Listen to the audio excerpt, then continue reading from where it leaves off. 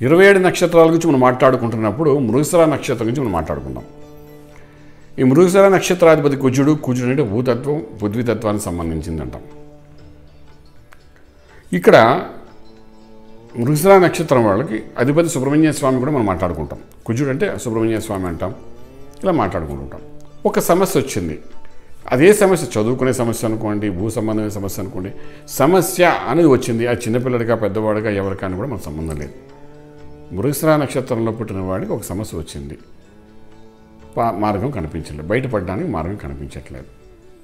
అటువంటప్పుడు వీళ్ళు ఏం చేయాలి అనే విషయానికి వచ్చినప్పుడు అధిపతి కుజుడై ఉన్నాడు కానీ భూతత్వానికి సంబంధించింది ఏదో ఒక సేవ చేయాలి.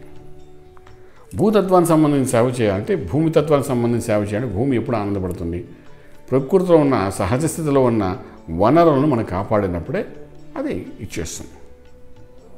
అంచేత మృగశిర నక్షత్రం వాళ్ళు ఎవరైతే ఉంటారో వాళ్ళు తులసి మొక్క ఏదైతే ఇంట్లో ఉంటుందో ఆ తులసి మొక్క చుట్టూ తిరిగి నీళ్ళు వేసి ఆ నీళ్ళు నెత్తి మీద చల్లుకోవడానికి ప్రయత్నం చేయగలరు చిన్న చిటగా చేస్తూ సుబ్రహ్మణ్య స్వామి మనసులో తలుచుకుంటూ సాధన చేస్తూ తులసి మొక్క చుట్టూ తిరిగి తిరగడానికి ప్రయత్నం చేయగలిగితే అక్కడ భూమి పృథ్వీ ఉంది అంటే మట్టి ఉంది కుండ కుండ మధ్యలో మట్టి ఉంది చుట్టూ వృక్షం ఉంది వృక్షం చుట్టూ తిరుగుతున్నాం.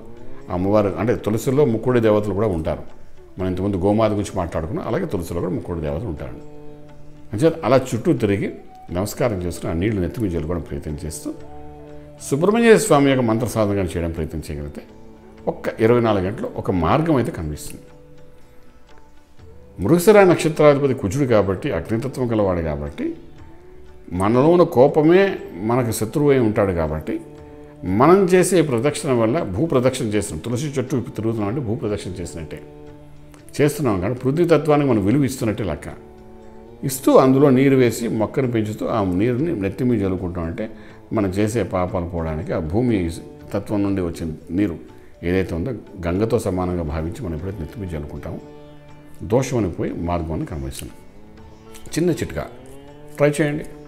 రాజమార్గంలో రాజ్యంగా పొందగలుగుతారు.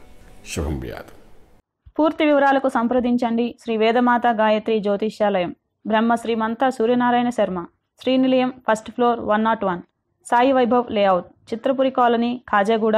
Delhi public school పక్కన Nanakramguda Hyderabad five lakhs eight. Phone numbers triple eight triple five nine one four seven.